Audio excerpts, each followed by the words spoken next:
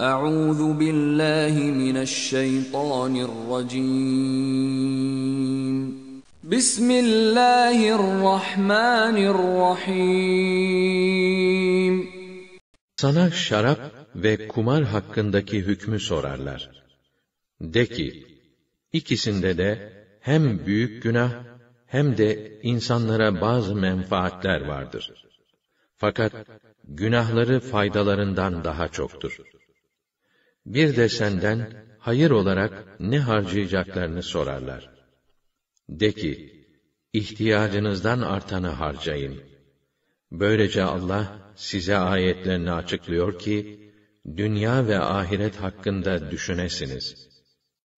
Ey iman edenler! Sarhoş iken ne söylediğinizi hakkıyla bilmedikçe namaza yaklaşmayın.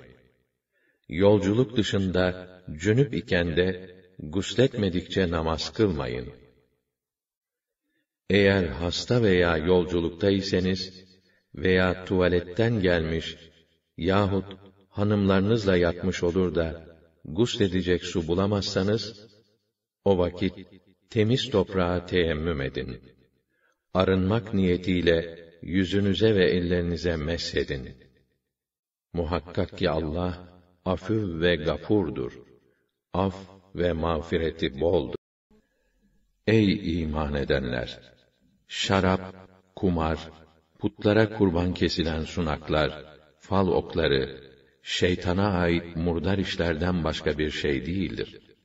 Bunlardan geri durun ki felah bulasınız. Şarap ve kumarla şeytanın yapmak istediği tek şey, sizin aranıza düşmanlık ve kin salmak, sizi Allah'ı zikretmekten ve namazdan alıkoymaktır. Artık bu habis şeylerden vazgeçtiniz değil mi?